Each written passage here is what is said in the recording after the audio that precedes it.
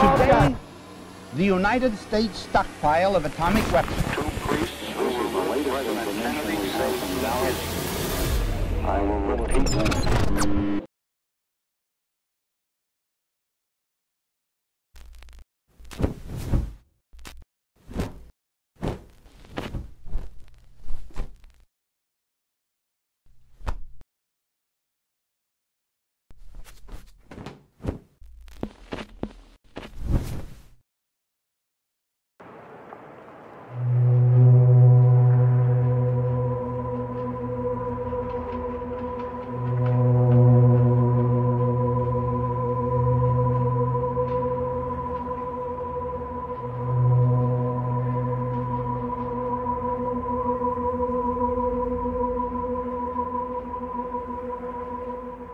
Pada April 1933, Berzin memanggil Sorge ke departemen keempat. Sorge terpaksa mengakhiri masa cutinya lebih awal. Namun tidak masalah baginya karena Richard Sorge adalah tipe pria dalam aksi.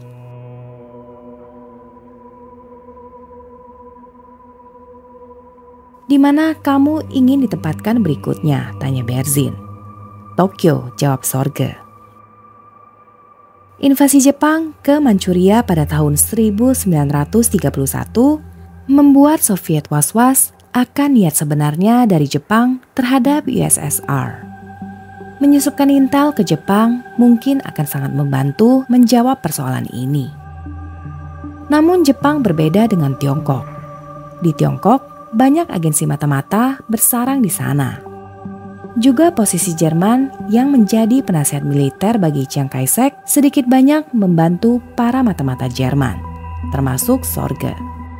Sedangkan Jepang terkenal atas kecurigaan intensif terhadap orang asing. Pemantauan berkala terhadap orang asing sering dilakukan. Terlebih lagi dalam masa perang.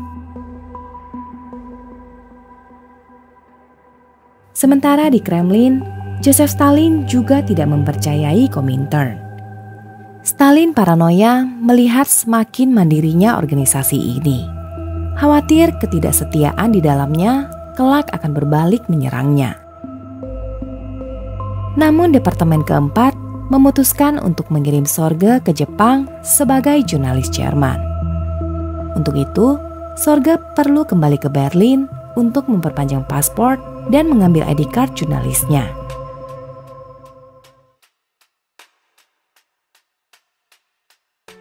Sesampainya di Berlin, Sorga terkejut dengan perubahan besar di sana.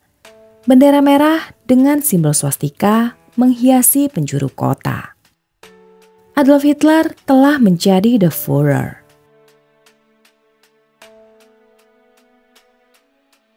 Insiden Reichstag Fire telah memberikan wewenang kepada Nazi untuk menghancurkan lawan politik ratusan anggota Partai Komunis Jerman dihilangkan oleh Nazi. Semua orang Jerman yang baru kembali dari luar negeri diperiksa latar belakangnya oleh kepolisian rahasia negara yang baru saja dibentuk. Geheimstaatspolizei atau disingkat jadi Gestapo. Sepak terjang sorga dalam pemberontakan di Kiel dan kegiatannya untuk Komintern di Frankfurt telah diketahui oleh Gestapo sebulan sebelum kedatangannya. Namun pekerjaan sorga di Shanghai untuk koran Dus Getrede Zeitung menyelamatkannya. Artikel-artikel sorga menarik perhatian Kurt Vohwinkel, seorang editor berpengaruh untuk majalah Journal of Geopolitik yang banyak dibaca oleh kalangan Nazi. Vohwinkel meminta sorga untuk berkontribusi pada majalahnya ia menjadi satu-satunya jaminan sorga di Berlin. Tidak hanya itu, Voinkel juga membekali sorga dengan surat pengantar terbuka ke kedutaan Jerman di Tokyo dan memperkenalkannya kepada sekretaris kedutaan.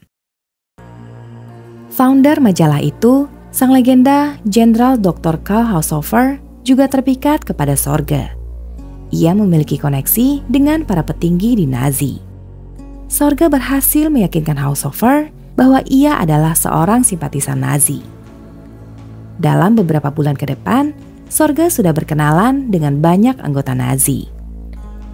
Untuk mendalami perannya, Sorga sampai membaca buku propaganda tebal yang berjudul Mein Kampf karya Adolf Hitler. Ia mendalami ideologi Nazi yang sangat bertentangan dengan ideologi pribadinya sendiri. Pada musim panas 1933, Sorga memberanikan diri untuk mengajukan pendaftaran untuk anggota Partai Nazi. Ini merupakan langkah yang sangat nekat, mengingat Gestapo masih mengawasinya. Namun ia berhasil membuat Gestapo kebingungan. Latar belakangnya yang akrab dengan komunis dan pergaulannya sekarang yang akrab dengan Nazi berhasil mengecohkan Gestapo.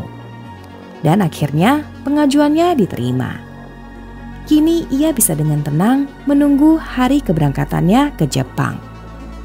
Namun, Sorga juga tidak ingin menghancurkan pencapaiannya di sini. Untuk itu, ia harus mengorbankan salah satu hal yang paling ia cintai selain wanita, yaitu alkohol. Ia berhenti minum-minum dengan para Nazi. Bahkan, ia berhenti minum sepenuhnya selama berada di Berlin. Ia tidak mau mulut cerobohnya itu mengucapkan sesuatu yang bodoh karena mabuk. Saya muak berdiam diri. Saat ini, saya hanya bisa mengatakan bahwa prasyarat saya untuk kembali bekerja telah beres.